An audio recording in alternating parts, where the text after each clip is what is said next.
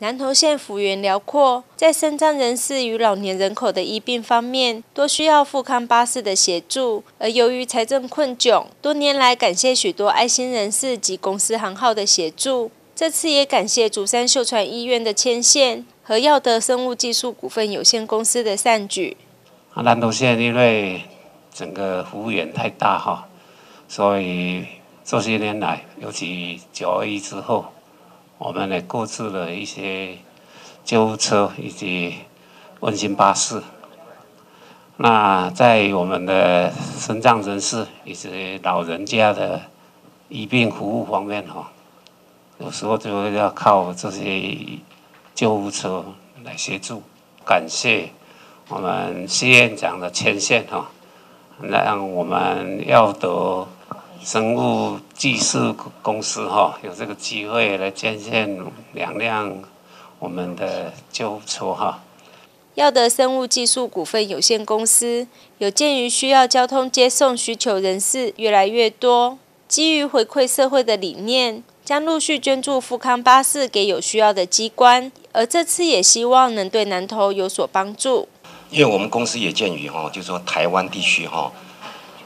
因为工作哈，还有生病哈，造成的很多的轻度、重度的伤害，那衍生了很多的身体、肢体的障碍的人士也越来越多，所以我们公司在这一块方面呢，我们今年的计划大概是会有预计要捐到五十多部的一个富康巴士到台湾地区，那也感谢就是说，像刚刚讲讲的谢院长哈，也请也引荐我们哈到南投县地方，也介绍南投县地方。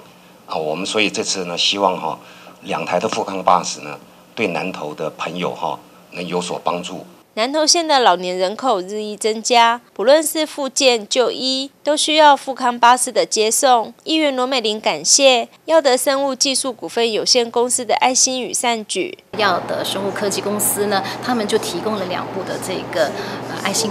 这个巴士呢，给我们南投县，那一部呢是捐献给我们南投县政府，另外一部呢就是呃献给我们这个新义的这个乡公所哈。那这个爱心呢，我们呃是非常非常的这个肯定啊。那尤其是呃南投县，其实我们这个老年人口也是日益增加，那老年人需要到这个医院呢去做这个呃。